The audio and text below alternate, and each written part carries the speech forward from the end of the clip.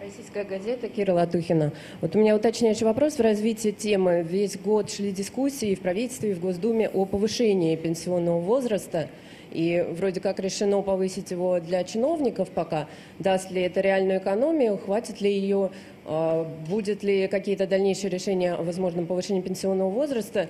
И еще очень интересно все-таки положение военных пенсионеров в связи с тем, что действительно обсуждается то, что работающие пенсионеры могут не получать пенсии. Ну вот, как вы говорили, что это только обсуждение. Вот, но военные пенсионеры составляют очень значительную категорию. Вот часть тех людей, которые работают и получают пенсию, очень волнуются по этому поводу. Спасибо. Ну, во-первых, военным пенсионерам, как я уже сказал, будет проиндексировано так же, как всем остальным в начале года э, пенсия будет проиндексирована на 4%. Значит, по поводу э, работающие, не работающие, я думаю, что на них, откровенно говоря, вот не, не помню эту деталь, обязательно это выясню, но, на, на мой взгляд, там общий порядок должен быть для всех пенсионеров, работающих или не работающих. Что касается пенсионного возраста, вы знаете мою позицию, я всячески сопротивляюсь повышению пенсионного возраста. Но э, есть, конечно, проблемы. А что касается повышения пенсионного возраста для э, чиновников э, российского, регионального и муниципального уровня до 65 лет для всех, для мужчин и для женщин.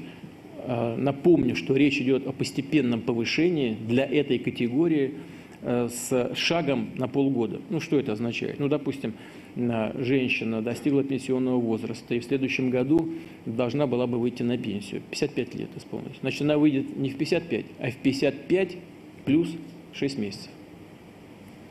И, и так постепенно, постепенно, постепенно, постепенно для всех. Э, чиновников, имею в виду. Э, конечно, фискальный, фискальный результат минимальный. Это правда. Фискальный результат минимальный. Что касается в целом э, повышения пенсионного возраста, я и сейчас придерживаюсь точки зрения, что э, время еще не настало. Но буду откровенен, мне уже многие, не только эксперты, но уже просто практики говорят, ну вы хотите людям хорошее сделать, в конце концов э, вред им нанесете. В чем заключается этот вред? Но у нас растет продолжительность жизни. Если совсем недавно, э, в 2005 или там, 2006 году, продолжительность жизни у нас была 65 с небольшим лет, то сейчас она уже 71 с лишним, 71,2. И количество работающих, которые вносят свой вклад в пенсионную систему, уменьшается, а количество пенсионеров увеличивается. К чему это, если никак не реагировать на это, к чему это приведет? Это приведет к тому, что э, доходы пенсионной системы будут сокращаться. Сейчас они, вот, э, скажем, в этом году сократились из-за того, что реальный, э, реальная заработная плата присела, а пенсионный фонд формируется из заработных плат работающих граждан. А, и там уже дефицит пенсионной системы. И мы должны из федерального бюджета дополнять те средства, которые являются дефицитными.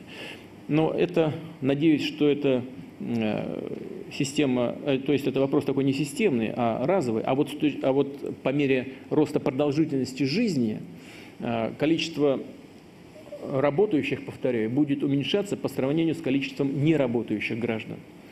И тогда могут возникнуть системные проблемы наполнения пенсионного фонда. К чему это может привести? Ну, по сути, это может привести просто к сокращению доходов самих пенсионеров. Придется государству просто понижать уровень пенсионного обеспечения или повышать пенсионный возраст. Но если это делать, то делать нужно вот так, как по чиновникам принято решение. Не спеша, спокойно.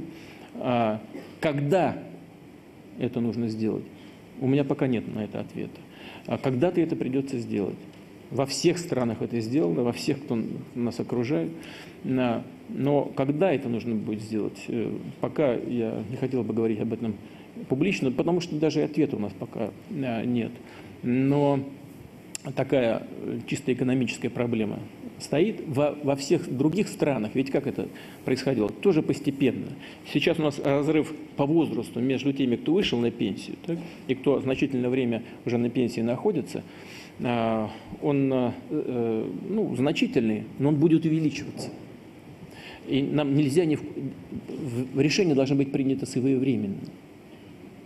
С тем, чтобы мы не, не обрушили через там, 5, 10, 15 лет пенсионную систему. И уже точно совершенно, что я хочу вот сказать, и это хочу, чтобы люди это услышали, это никак не затронет уже людей, вышедших на пенсию. Они вообще к изменению вот этой системы пенсионного возраста уже не имеют никакого отношения. Их никто не будет заставлять, даже если они вчера вышли на пенсию, сегодня возвращаться на работу. Закон обратной силы не имеет, и все, кто уже вышел на пенсию, те, безусловно, 100% будут пользоваться всеми пенсионными правами.